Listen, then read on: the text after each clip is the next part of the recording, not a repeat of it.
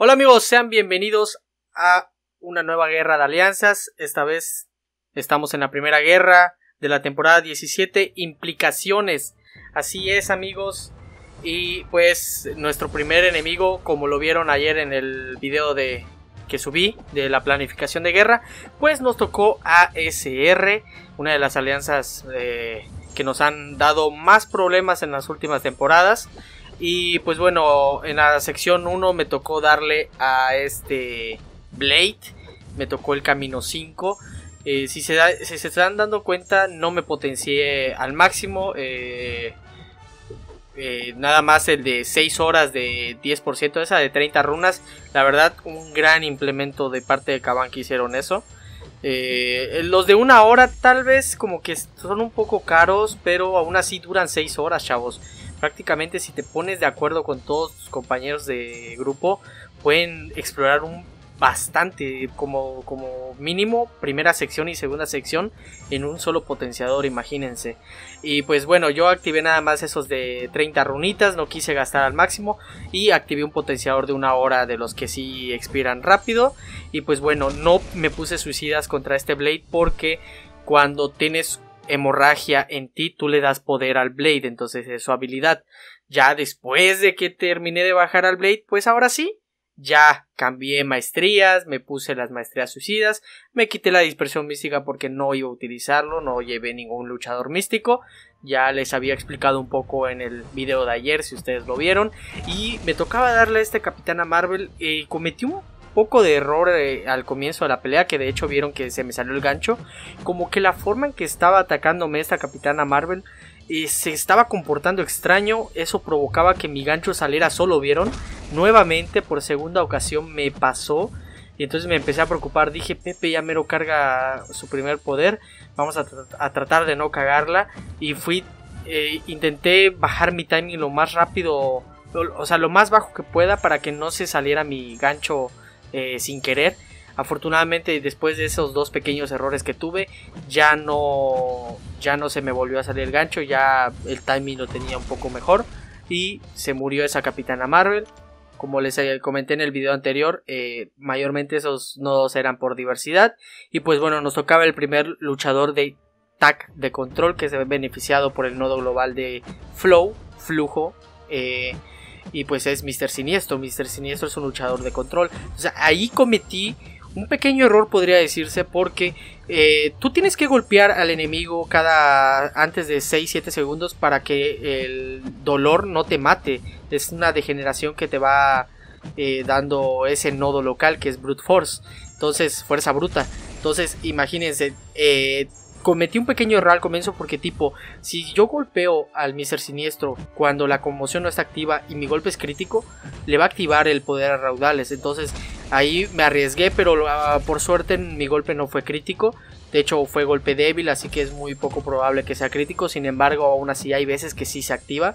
Afortunadamente eh, sí perdí bastante vida, es, es natural perder bastante vida en este nodo si tú utilizas a Quake.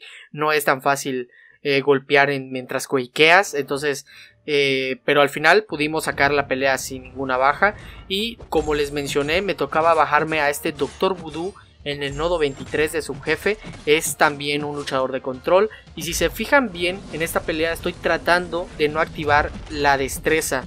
Porque una vez que yo active la destreza y lo golpee, obviamente va a expirar mi destreza y le voy a dar poder con la dispersión mística. Entonces no quería, eh, por eso jugué lo más safe posible. Traté de, vean, estoy bloqueando poderes y de hecho en, un poco más tarde de la pelea no le eludo ni el segundo poder, no le eludo los golpes. Trato de no activar ninguna ventaja más que la que ya tengo ahí de robustez, pero mientras no me la anule no le voy a dar nada de poder eh, por la dispersión mística y pues todo está yendo muy bien. No llevé a Warlock en la guerra, pensé que iba a llevarlo, pero me di cuenta que dije no, en la guerra anterior, bueno no esta anterior, en la guerra que me tocó darle al Warlock de jefe, llevé la sinergia de Morningstar porque eso aumenta eh, creo que un 50 o 70% de daño la degeneración que activa la guillotina. Entonces eso a la larga, esa sinergia es una de las mejores sinergias que puedes darle a la guillotina 2099. Entonces dije, mejor vamos a llevar a la sinergia de Morningstar. Sé que Warlock me pudo haber servido en alguna otra pelea, pero decidí ir a lo seguro. Sabía que iba a ser una guerra difícil. Y pues bueno, aquí nada más básicamente estoy eh, tratando de que eh, la vida del enemigo llegue al 5% o menos. Vean ahí, no, no eludí ni nada, preferí no hacerlo. De total, poca vida que iba a perder. Y pues bueno, ahora sí, llegó a 3% de vida y le tiré mi tercer especial. Si ustedes no saben cómo funciona, chavos, así es como funciona la habilidad de guillotina. Si tú terminas una pelea con tu super especial 3, automáticamente en la siguiente pelea, guillotina va a comenzar con 100, en su 100 golpes en su medidor de combo. Eso va a hacer que guillotina desde el comienzo de la pelea, boom, sea una diosa quite un chingo de vida que luego ustedes lo van a ver posteriormente. Y pues bueno ahora pasemos a la segunda sección. Eh, está todavía potenciado también. Y pues aprovechando dije pues vamos a darle a este Dormammu nada más le eché creo que dos sorbecitos a, a Quake bebé y todo bien. Nada más eh, eh, tener cuidado obviamente porque Dormammu también es un luchador que se ve beneficiado por el nodo global de flujo tiene el tag de control entonces, eh, no hay que hacerle ningún golpe crítico. Es un muy buen nodo para poner a este Dormammu porque es inmune a todas las desventajas los primeros 20-25 segundos por ahí. Entonces, si tú le haces algún crítico, no puedes quitarle el acopio de poder porque no puedes aplicarle ninguna desventaja.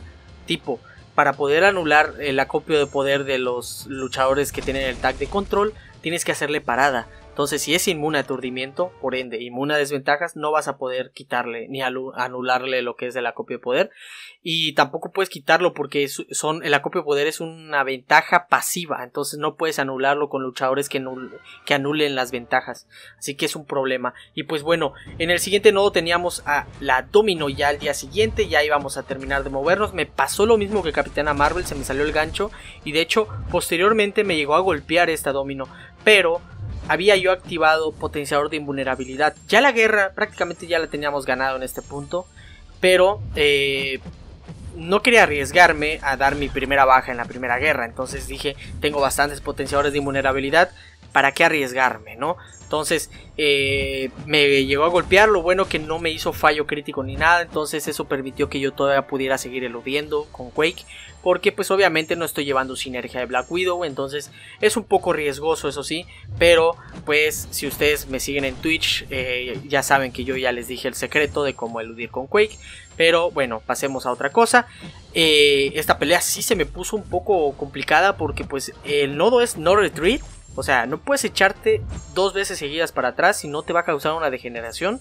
Y pues tienes que estar pendiente de todos sus golpes. Afortunadamente pues estoy acostumbrado a nada más eludir y luego hacer parada, eludir y hacer parada. Y pues no...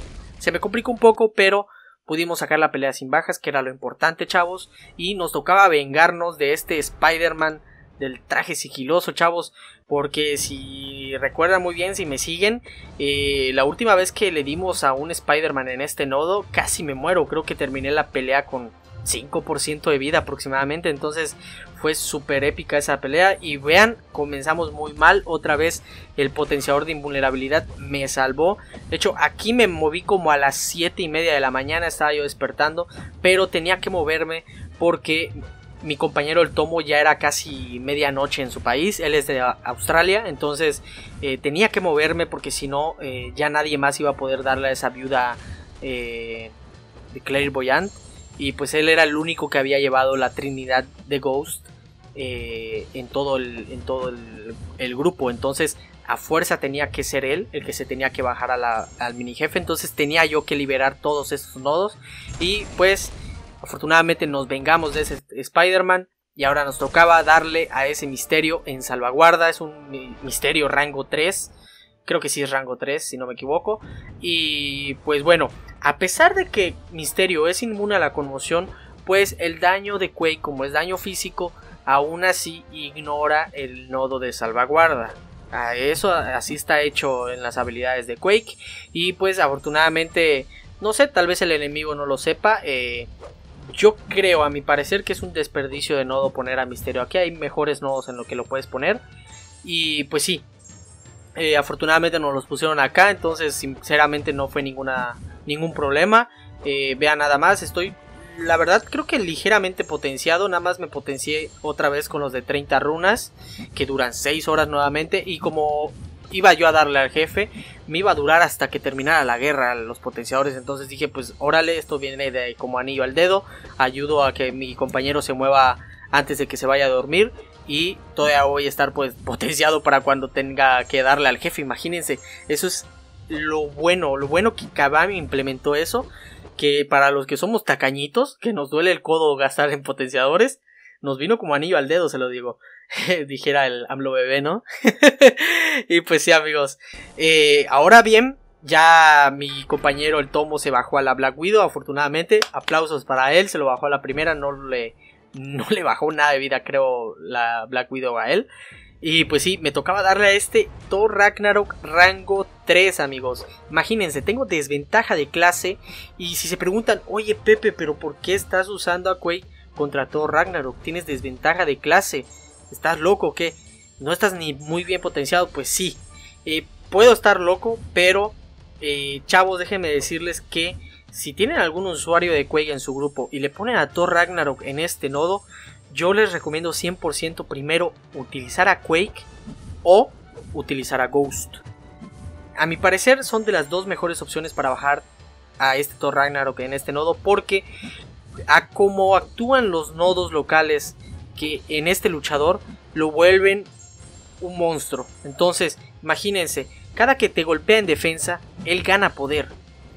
Cada 20 segundos se te drena el poder.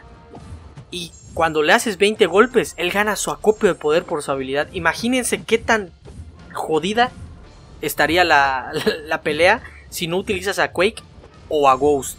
Ghost también es muy buena contra Thor Ragnarok, pero esa pelea debe de ser rápida. Tipo, cuando utilizas tu especial 2 tienes que tener en cuenta que eh, neutralice su acopio de poder. Después de los, por decir, tipo, cuando tiene 18 cargas de acopio, hace su poder, como son tres golpes, en el golpe número 21 pues le anulas el acopio de poder y así ya no te pasa nada, pero tienes que estar pendiente que cuando utilices el segundo poder no te den el poder eh, por el nodo local también. Entonces también es un poco problemático. Por eso es que yo prefiero utilizar primero siempre a Quake y después a otro.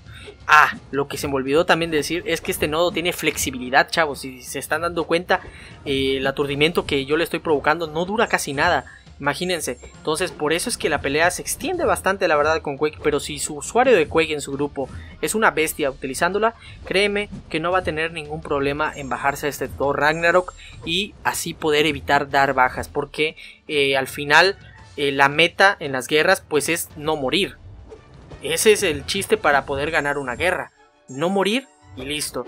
Y pues bueno, nos costó 2 minutos 23 segundos, no, 33 segundos aproximadamente. Imagínense, casi, casi los 3 minutos nos, nos llevamos matando a ese Thor Ragnarok. Y bueno, ahí diciéndole a mi compañero el tomo que ya se podía ir a dormir y shalala, ¿no? Y, y pues bueno, ahora me tocaba darle al jefe. Esta vez no, no se me había olvidado para nada eh, quitarme las maestrías de curación. Y si se dan cuenta, me quedaban todavía como dos horas y media para que se expiraran mis potenciadores de 30 runas. Imagínense qué bonito, qué bonito es lo bonito, chavos. Y ahora sí, me tocaba darle a este Warlock. Ya anteriormente lo han visto que le he dado de jefe una vez, en una ocasión. Y pues como les mencioné cuando con el Doctor Voodoo, chavos, eh, al haber terminado el especial, con especial 3, lo maté. Pues inicié con mi, medidor de combo fue el número 100 y vean nada más ya tengo 115 golpes y la degeneración que le estoy haciendo ya está empezando a ser decente. Empezamos como 400, 500 de daño por turno y vean nada más cómo se estaquean las degeneraciones y conforme va aumentando mi combo la degeneración se va haciendo más fuerte. Esto, este, esta guillotina podría decirse que es parecida a la habilidad del Star-Lord. Entre más combo tienes, más daño haces. Entonces, el, aparte, todos los golpes de guillotina siempre y cuando no actives ninguna carga de persistencia, que te cures o que tus golpes sean críticos cuando utilices especial, no vas a tener ningún problema en bajarte este Warlock, porque Warlock también es un luchador que se ve beneficiado por el nodo global de flujo, chavos. Entonces, por eso es que Guillotina es una de las mejores en bajarse a este Warlock sin ningún problema, porque todos sus golpes no van a ser críticos siempre y cuando no actives la ¿cómo se llama? La carga de persistencia de qué hace críticos la guillotina. Entonces vean nada más la degeneración, cuánto estoy haciendo de daño directo, 3000, 4000 de daño. Y pues obviamente mis, mis golpes normales, 1500, 2000. Pero básicamente todo el daño de la guillotina viene de la degeneración. Imagínense, estoy jugando lo más safe posible, tratar de no interceptar tanto, porque pues igual tengo muy, mucha, mucha vida todavía restante en la guillotina, me queda a 51% y pues ya lo tenemos prácticamente muerto. Entonces dije, no, pues no es necesario ni siquiera intentar eludir el especial 1 porque es un poco engañoso ese poder 1, si la cagas te, te alcanza y te llega a matar. Y vean, al final los golpes de la degeneración hacían hasta casi 5k de daño por turno. Uf, Uf, chavos, fue una guerra devastadora. La verdad, eh, mm, nos fue mucho mejor de lo que esperábamos. La verdad, chavos, eh, al final morimos siete veces, pero tipo, eh, llevábamos casi 120 nodos por ahí. prácticamente llevábamos un casi un 90% explorado de todo el mapa y solamente habíamos muerto una vez. Entonces, y fue por un error de una asignación en el grupo 2, imagínense.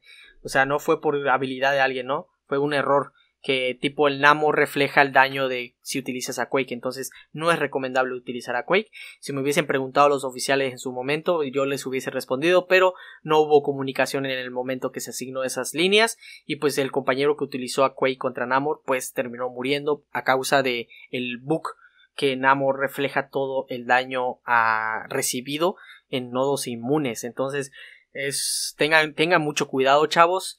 Y pues sí, al final como les dije, estuvo, la verdad, de maravilla esta guerra. Para hacer la primera guerra, chavos, jugamos de puta madre. La verdad, no puedo, no puedo decir nada más. Fue, ha sido una de las mejores guerras que hemos tenido, a pesar de que, como ven ahí, que fueron siete muertes al final, les digo, fueron muertes estúpidas, que pues bueno, ya la gente ya no estaba potenciándose, eh, no utilizaban los potenciadores de tres minutos, porque pues obviamente, si la guerra ya está ganada, ¿Para qué vamos a malgastar eh, potenciadores de 3 minutos cuando podemos utilizarlo en guerras que estén más cerradas? O sea, hay que igual utilizar un poco la cabeza, ¿no? En su momento ya los de ASR ya habían muerto como 25 veces, entonces pues ya, ya no era necesario. Eh, afortunadamente, pues cometieron muchos errores desde el inicio de la guerra los de ASR. Uf, eh, pero sobre todo al final nunca bajar la guardia, en Kenobi nunca bajamos la guardia, sea el enemigo que sea, cualquiera, no vamos a bajar la guardia. Y pues bueno, terminaron muriendo 64 veces, eh, le fue mejor que las últimas ocasiones, pero pues bueno. Sí amigos, esta es la primera guerra de la temporada. 17 implicaciones chavos, dejen su like si les gustó, cómo está el hype ahí. Y pues sí, eh, esta fue la primera guerra, primera victoria. Esperemos continuar así. Vamos a ver cómo nos trata eh, esta temporada eh, las guerras, porque igual, uff, hubo de todo, ¿eh? Hay que tener mucho cuidado porque hay muchos problemas de conexión, porque los servidores están cayendo. Imagínense, todo eso estuvimos cuidando al momento de movernos todos. No, fue, fue una guerra hubo mucha comunicación de parte nuestra. Y pues sí amigos eh, ya saben que si les gustó este video pueden dejar su like suscribirse si no se han suscrito y activar la campanita para que YouTube les avise cada que yo suba video. Y dejen en los comentarios amigos qué pelea les gustó más qué tal estuvo. Y sin más me despido. Nos vemos en el siguiente video amigos. Bye